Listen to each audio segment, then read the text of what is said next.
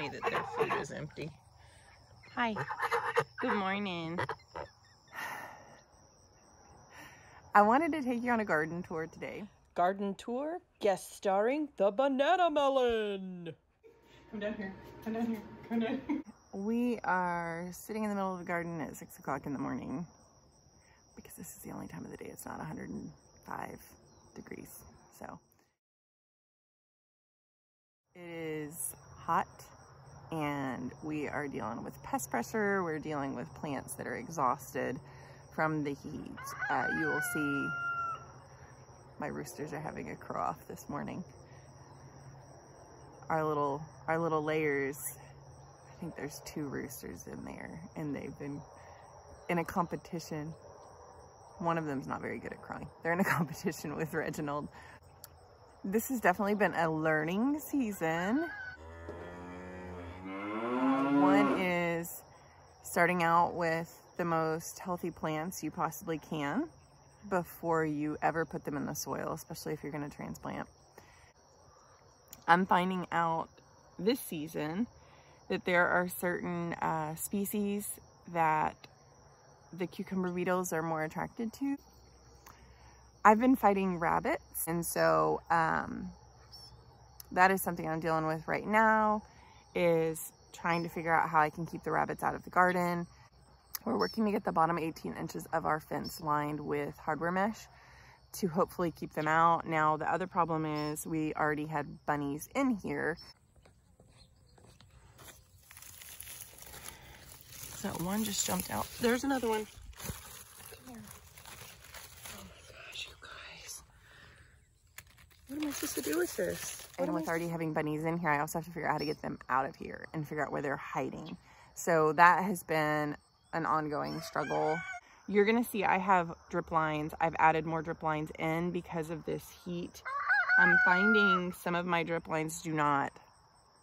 And maybe if you know how to fix this, some of them will put out maybe the first 10 feet really well with the water. And then after 10 feet, it's just minimal. And so the plants at the end of these 30 foot rows are not getting watered like they need to. So I know that I need to put in my real drip, irrigation system. Maybe I can have that done by fall. Um,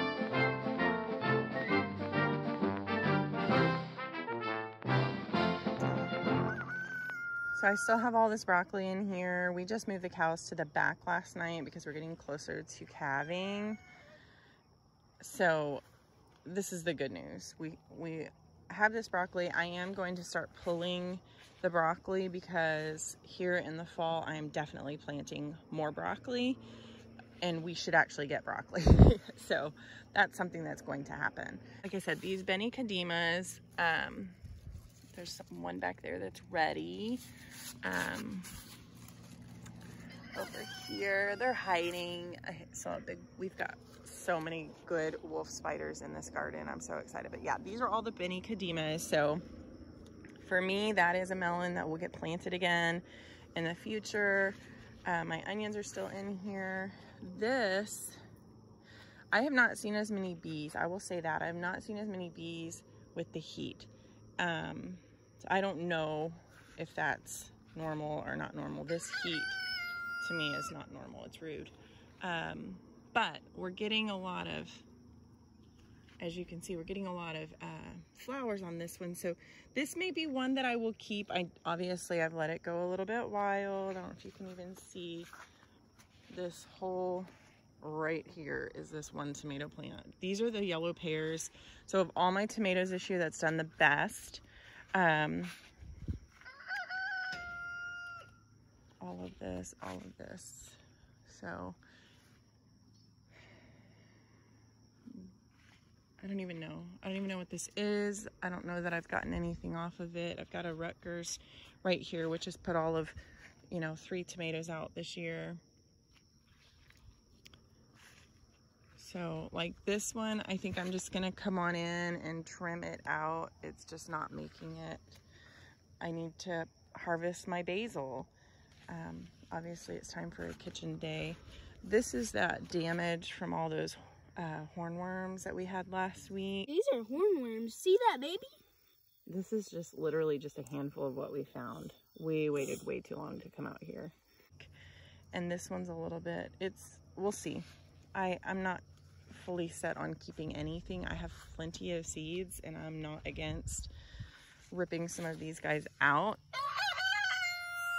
Oh my goodness, Reginald, could you be any louder? Guys are like, treats, mom, treats. They know what it is. Mama brings them treats. So getting tons of these eggplants. Um, loving, I literally, I made so much eggplant parmigiana that for three days I had breakfast, lunch, and dinner eggplant parmigiana. Um, I need to figure out, I think it, it may be these. There's one that's not, I don't know if it's the Black Beauty. It almost seems like it's not as tender as the others. The others just kind of melt into your mouth when you eat them. But I feel like that one, not so much. Again, my basil, I need to harvest that. Um, the Benny Kadimas are just coming out everywhere. So I, they're loving this heat, which tells me that like they're meant for this. Um, the peppers, I harvested a lot of peppers here recently. Uh, so that's kind of empty. Look how big this guy is. Holy moly. My, my asparagus, I'm really excited about this asparagus bed. I didn't think this was gonna work at all. So I'm really excited to have asparagus. Um, I have about decided, despite all my efforts, this is gonna go. So, um, there's just too many squash bugs in here and I just feel like I got too far behind and now it's just not even healthy plants. So like I said, these white squash, you see, here they are. Um, I'll harvest the last of these and then come in and pull up this bed and make some amendments. Even my sunflowers, which you would expect would be doing amazing between the grasshoppers and just like absolute destruction. So they're going to be coming up. The okra has been right up there with my eggplants. I've had okra almost every single day. Um, I have not frozen any of it, which would be smart. Also, picking it before it's ginormous would be smart. Uh, this plant has made a weird okra. I have to show you this. Weird little okra. Like I said, some of them I have let and get too big. We are saving some seeds on that. The tomatillo plants are gonna come out. I just, for, again, I don't think these were the healthiest of plants in the first place. I waited way too long to put them in, so that is on me. This is my little Mad Hatter pepper plant. So this guy, you see we've got ants, so that's another issue we're dealing with. And I'm not showing you this to be like, oh, poor, poor you. I just want you to see, like, you are not alone. There's, I don't know if you can even see them, but there's tons of squash bugs on that. Fun fact, if you squeeze a squash beetle and the juice gets in your eye, you will develop pink eye. It's not fun, it's painful for about four or five days. So I recommend wearing goggles when squishing squash bugs. That's a Benny Kadima.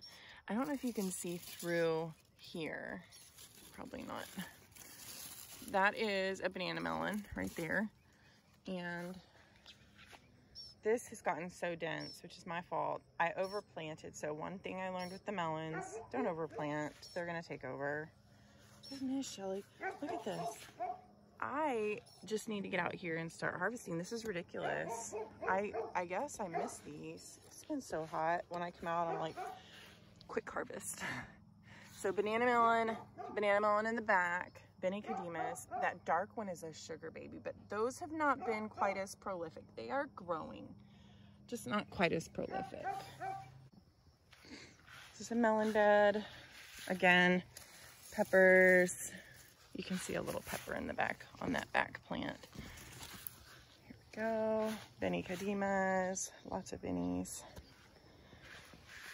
This is a lettuce that's trying to go to seed. I don't know if you can see that right there. Um, I do have lettuce in here. I've got some more little banana melons growing in there and, and they look healthy. I have never seen the kind of grasshoppers that we had this year. Just, they're ginormous. So here is that squash.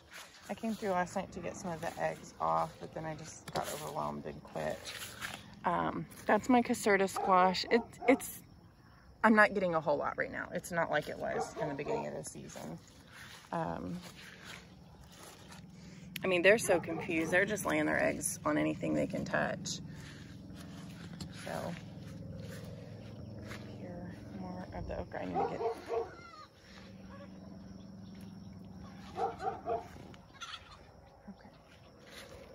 the sunflowers even are just like, I don't know that these are getting enough water down here. This is one of those soaker hoses that I'm concerned is not um, delivering like it should be. Dealing with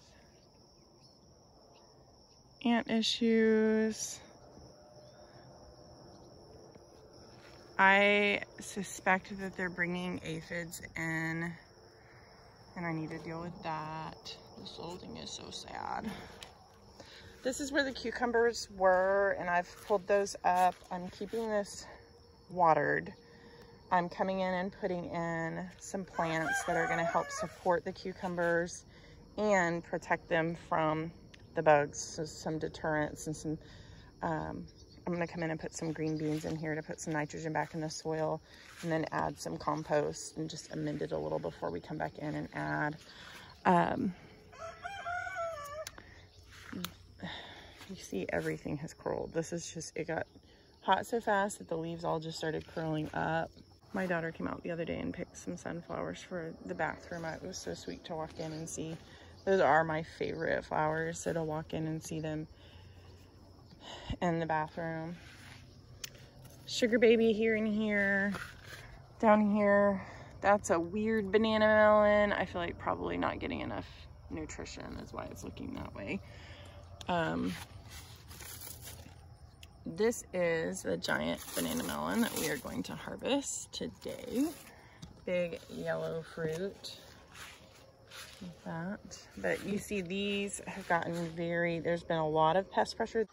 The Delice de la Table, which I have not been able to eat one that's been ripe because that seems to be one that they really, really like. This is that Delice de la Table I'm telling you about. And you see, it has just been under attack. Well, my assassin beetle, you're a little late to the party, my friend. A little late to the party. Right there. Big guy. So, we'll see. But I'm not, not super hopeful at this point. What you doing, girl? There are some lettuces in here. I don't know why you're in here. She's, she's I'm looking for the bunnies. Looking for the bunnies. Another banana melon. So we'll get a few of them. I feel like for my first year growing melons ever, we've had a pretty good harvest. Um, this is just the backside. That's a jalapeno plant. And I actually, Miss Mara, I harvested a whole bunch of jalapenos while you guys were on your vacation. So um, when y'all get back, I need to bring them over so you can make some of your delicious pico with the spicy peppers.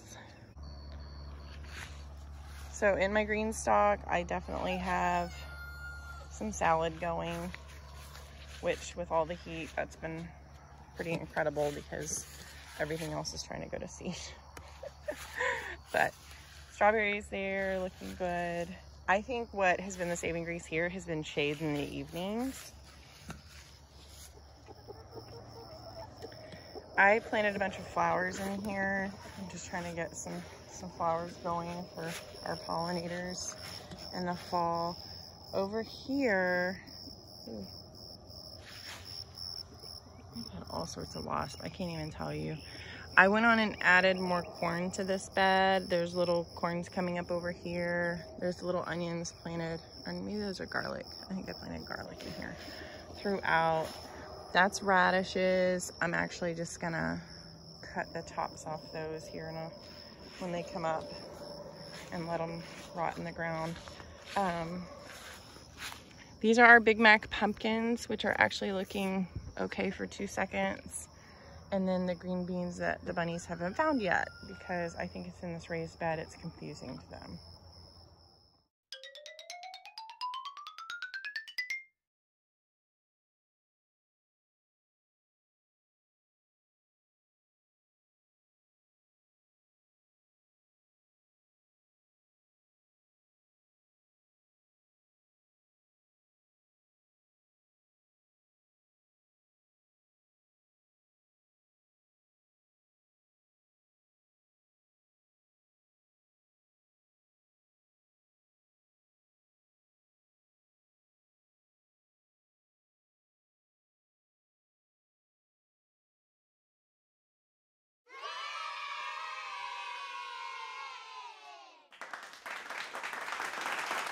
So excited you're going to help me harvest our first banana melon. My dad loves banana melons. He grew up on banana melons. This is my first year to grow them. I heard of them last year. I was very excited to grow them.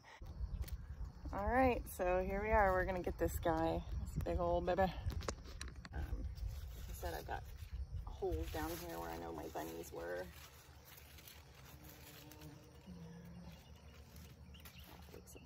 is big. Okay, come here. And of course it grew under everything, not on top of. oh, here we go. Oh, it's got ants on it. Not bad for our first banana melon. Sounds a little bit hollow in there. We'll see. I am super excited about this. It actually smells like cantaloupe, so we'll let you know uh, the problem with being tall.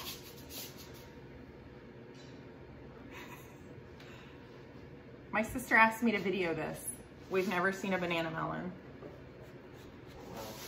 It actually does, it smells like a cantaloupe. It looks like a cantaloupe. Like super sweet.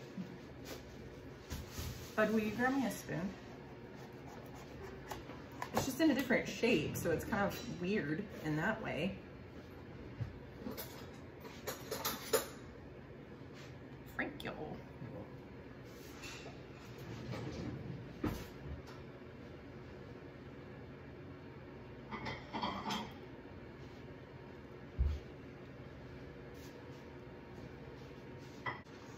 I did not refrigerate this.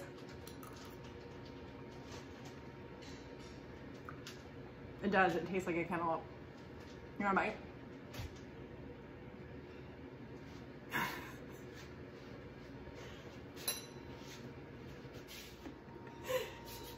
I'm here with my really short son. Come down here. Come down here. Come down here.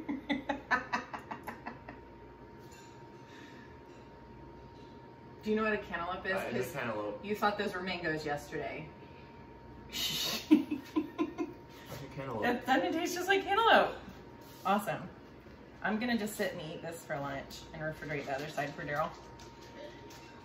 So one melon who will eat.